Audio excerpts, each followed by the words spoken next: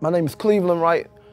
I got locked up in 1978. They gave me 20 to life on three counts of first degree felony murder while armed and armed robbery. That just blew my mind. I just, I mean, just feel like I was in a box and couldn't get out. I swear to God, I never killed anyone in my life. My name is Santae Tribble. At 17, I was charged with two counts of first degree murder, armed robbery, which I knew absolutely anything about.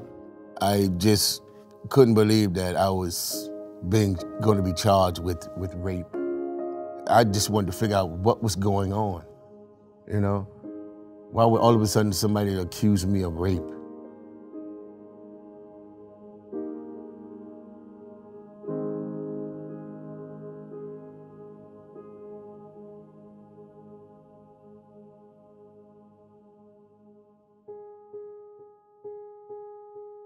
The wrongful convictions of Santae Tribble and Kirk Odom, and then added on with Mr. Wright, all had in common uh, faulty FBI hair analysis.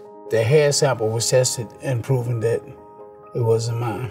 That's when it finally um, kind of dawned on me that this nightmare might be coming to an end. Miss Sandra Levick called me. I was so excited, so overjoyed. Almost cry. You know, to hear that, you know, it's, it's over.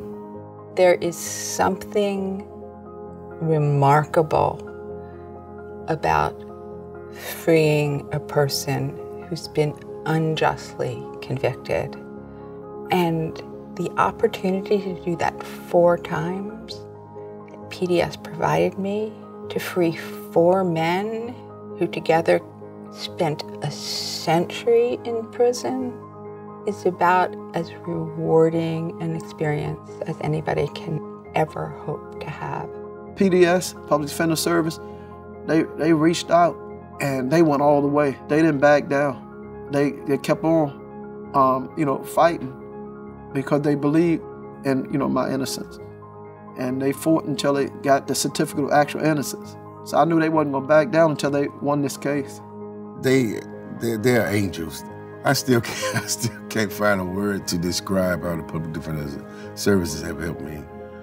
They're just awesome people. Now it's this day that I feel I'm finally telling the story.